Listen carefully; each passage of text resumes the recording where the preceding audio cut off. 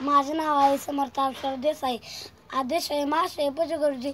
आणि येथे जमलेल्या छोट्या मोठ्या बालमित्रांनो मी आज तुम्हाला छोटेसे भाषण सांगणार आहे. ते तुम्ही शांततेने ऐकून घ्यावे ही माझी नम्र विनंती. स्वराज्य हा माझा जन्मसिद्ध आहे व तो मी मिळवणारच ही सेगर्जना करणारे लोकमान्य टिळक यांचा जन्म रत्नागिरी जिल्ह्यातील चिखलगाव जिल्ह्यातील झाला.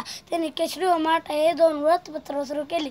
त्यांनी सार्वजनिक गणेशोत्सव व शिवजयंती हे उत्सव सुरू केले. त्यांना सहा वर्ष तुरुंगात झाला. त्यांनी मंडळीच्या तुरुंगात गीत साहित्य ग्रंथ लिहिला. त्यांचा मृत्यू एक ऑगस्ट एकोणीसशे वीसमध्ये झाला. एवढे एवढे बोल मी माझे भाषण संपवतो. जय हिंद जय महाराष्ट्र.